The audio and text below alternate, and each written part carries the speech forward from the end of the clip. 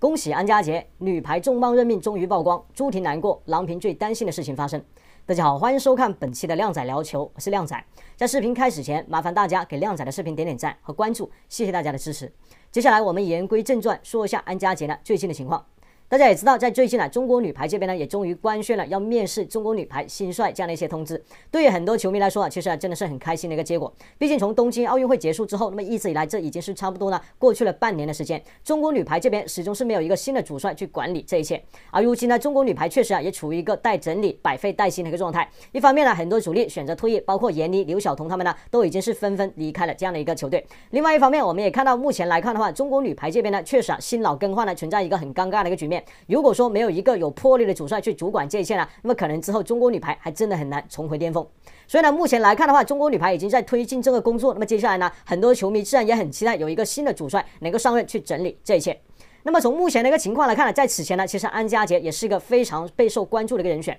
毕竟我们也知道，安家杰在此前呢一直是这个郎平的一个得意弟子，并且呢也是一个非常优秀的一个助手。在此前呢十几年以来呢，那么其实郎平进入国家队之后呢，就一直带着安家杰，并且呢也参加了国内外大大小小的一些联赛和比赛。在此前，大家都觉得其实啊，中国女排包括郎平这边呢，就在有意的去培养安家杰。虽然说赖雅文呢，其实也是经常陪伴着郎平一起参加比赛，但是赖雅文呢负责的更多的是一些后勤的工作，基本上不会上这个呃赛场呢去指。挥，而安家杰呢，由始至终都是陪伴着郎平呢去参加很重要的一些比赛，并且在旁边是出谋献策的这样的一个角色。所以这一次，那么其实中国女排公布这样的一个啊候选人之后的话，也让很多球迷觉得说，安家杰这一次呢，很有可能也能够成功当选。但就在最近，那么我们也看到，其实就在中国女排去公布说啊要进行一些人选的一些选拔之后呢，那么其实与此同时，就在差不多的一个时刻呢，山东女排这边的官方也是正式官宣了一个主帅的人选，而这个人选恰恰也就是山东出来的安家杰。所以啊，其实目前山东女排这样的一个安排，其实也就意味着，那么之后的话，安家杰基本上大概率不会参与到中国女排选帅的工作当中来，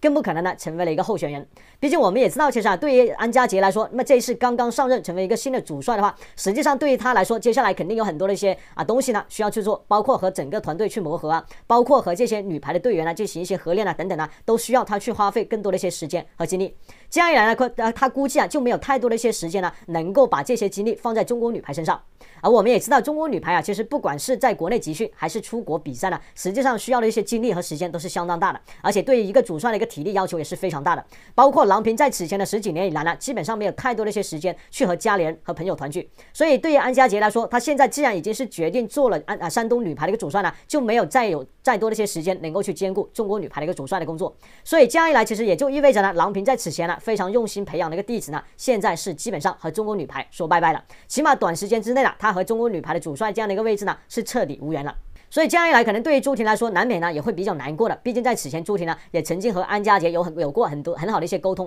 包括在此前参加一些国际性大赛，那么双方呢也有很好的一些互动啊。这样一来，其实包括对郎平来说，他最担心的一些些事情呢，也正在发生当中。在此前，他是一直非常的希望安家杰呢能够接他的班，并且也表示呢，其实像他这样的一些年轻的主帅呢，比他更适合中国女排。那么现在来看呢，他现在也看到了安家杰呢已经是正式离开了一个中国女排主帅的一个候选人的一个位置，去到了山东女排。这样一来呢，对于郎平来说说，他的一个愿望。也是正式落空，对于他来说呢，也难免是一个很难过的一个消息。当然，最终啊，其实安家杰做出了这样的一些选择呢，我们也会去尊重他，我们也希望他接下来呢，在山东女排这边取得一个好的成绩。当然，另外一方面，我们也非常期待中国女排这边呢，能够选出一个真正优秀的一些主帅，能够带领着我们女排的球员们呢，继续征战，走向巅峰，取得更好的成绩。好了，本期的靓仔聊球就聊到这里，我们下期再见，拜拜。